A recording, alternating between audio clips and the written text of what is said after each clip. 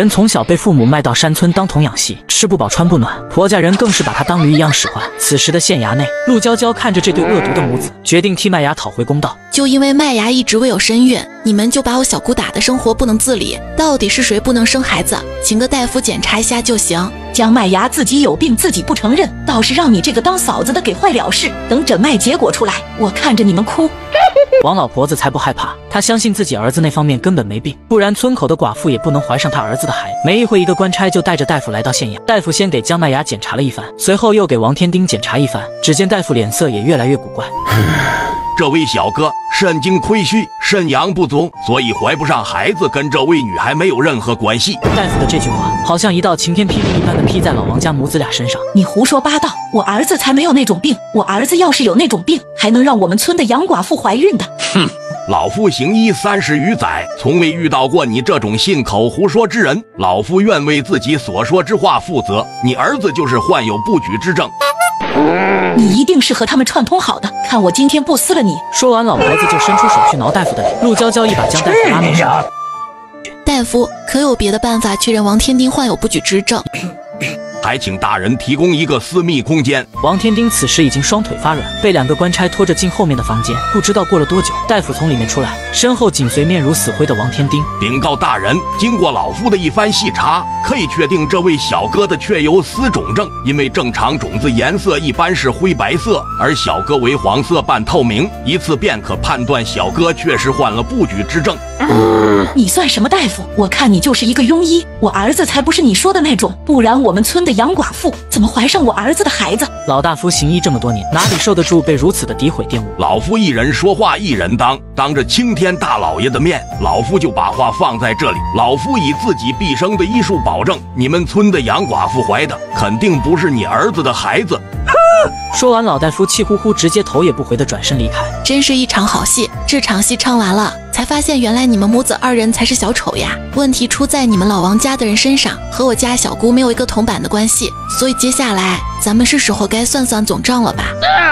王老婆子已经被刚才的消息打得措手不及，完全没有意识到陆娇娇在说什么。不可能的，我儿子身体可好了，从小就长得虎头虎脑又壮实，谁见了谁不夸一句我们养得好？我儿子怎么可能有病呢？就算天下所有的男人都有病，我儿子也不可能有病。在场的所有男人嘴角都狠狠地抽搐了一下。大人，按我朝七出之条，妇人无子去，有恶疾者去。民妇以为放在男人身上依旧做的数。俗话说，长嫂如母，恳请大人可以为小姑主持公道，让小姑将王天丁休弃。此话一出，众人议论纷纷，就连两边站立威严肃穆的官差都交头接耳，就连县太爷也是差点没有绷住。江秦氏，你们风铃镇素来没有女子休弃男子之事，现在既然清楚了事情的来龙去脉，就由本官做主，让王家书写一封放弃书，从此大路朝天，各走一边，男婚女嫁，互不相干，可好？放弃书比休书好一些。放弃书表达的意思，则是此女子德性兴许有亏。可不管是放弃书还是休书，都将男人摘得干干净净。陆娇娇自然不同意。女人无子可被夫家休弃，凭什么男人生不出孩子来就不能被女人休弃？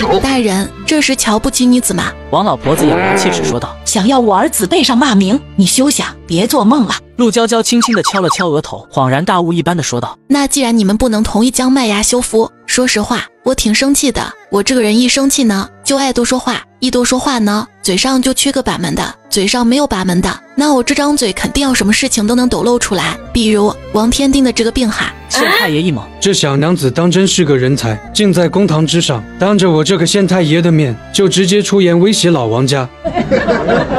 听到这句话，王老婆子的眼睛瞬间瞪大。她怎么能让儿子不能生养这件事情传扬出去？可古往今来，从未有男子被休。一旦自己的儿子被休了，就说明在这场姻缘中的过错方是他儿子，日后想要谈婚论嫁依旧很困难。你们商量好了没有？王老婆子狠狠地磨了磨自己的后槽牙，深吸一口气，休就休。不过老婆子今天也把话放在这里，如果日后让老婆子听到一句有关我儿的议论，老婆子就算拼了这条老命，也得拉你们两个见一货去陪葬。只要你们答应被休，从此以后咱们大路朝天，各走一边。至于你的担忧，完全是没有必要的，因为没有人掉进屎坑，好不容易爬出来以后，还会时时刻刻提起来提醒自己曾经掉进屎坑过，毕竟恶心过，知道那个滋味，就再也不想恶心了。老婆子气得浑身发抖。在县太爷的见证下，师爷拟了一份休书。江麦芽毫不犹豫地在扇面按下手，手印按下的那一瞬间，江麦芽瞬间大哭。他从来没有奢求过自己会解脱，可现在陆娇娇帮他做到了。三人回到村子，路过老王家门口时，正好听到老王家里在争吵，正好谈论的还是江麦芽。王安，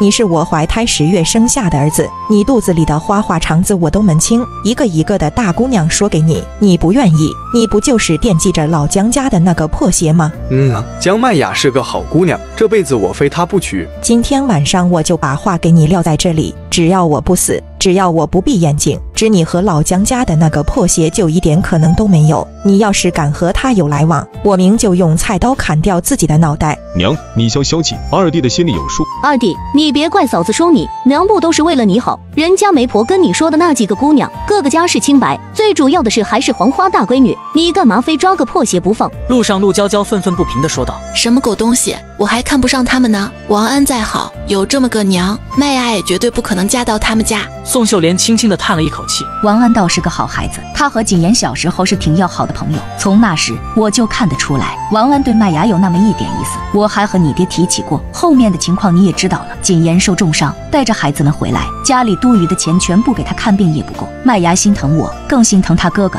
就委曲求全下嫁给了老王家。没想到最后也是落得一个劳燕分飞的下场。能，你别伤心，这是我自愿的，和你没有任何关系。